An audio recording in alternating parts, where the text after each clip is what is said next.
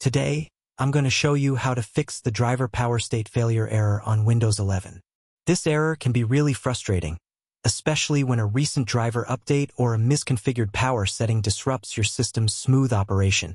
In this video, I'll share several practical methods to troubleshoot and resolve the issue, ensuring your PC runs reliably and efficiently. The first step is to check your recent driver updates. Press the Windows button and open Settings, then navigate to Windows Update and click on Update History. Here you can review the list of driver updates installed recently. Noting which devices were updated can help pinpoint the culprit. Once you have this information, close Settings and open Device Manager by right-clicking the Windows button and selecting it from the menu. In Device Manager, find the category where the problematic device might reside. It could be under Human Interface Devices or another section depending on your system configuration. Right-click on the suspected device and select Properties.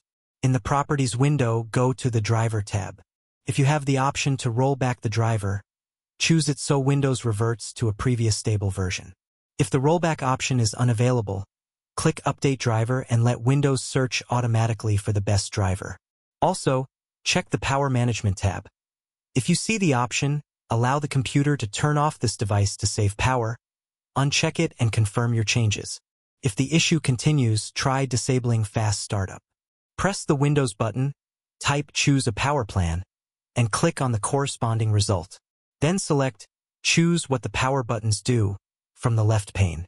Under Shutdown Settings, click Change settings that are currently unavailable and uncheck the Fast Startup option.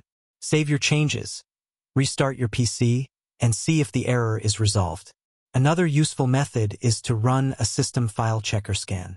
Open Command Prompt as an administrator by pressing the Windows button, typing CMD, and selecting the administrator option. Then type sfc slash scan now and press enter. The scan may take several minutes, so be patient. When it's finished, restart your computer. Finally, consider switching to a high-performance power plan. Open Settings, go to System, and select Power and Battery. Locate the Power Mode drop-down and choose Best Performance. This setting ensures your PC receives enough power to support all devices and can help address driver issues. Remember, troubleshooting driver problems can require trying several approaches. Always create a system restore point before making changes, and take your time with each step.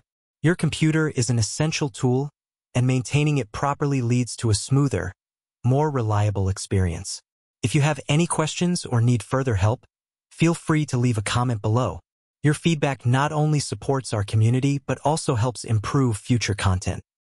I hope these tips help you overcome the driver power state failure error on Windows 11.